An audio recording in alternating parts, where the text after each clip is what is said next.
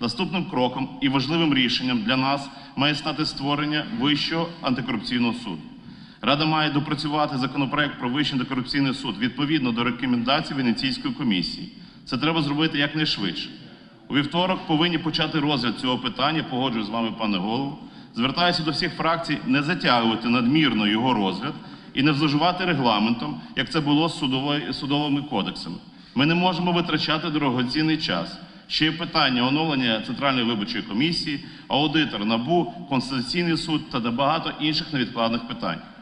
Позиція Народного фронту в питанні про Вищий антикорупційний суд базується на рекомендаціях Венеційської комісії.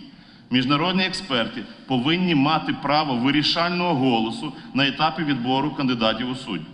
Вища кваліфікаційна комісія суддів не зможе ігнорувати недовіру, висловлену Міжнародною радою експертів, коли йдеться про явну брехню чи конфлікт інтересів кандидата на посади антикорупційного судді.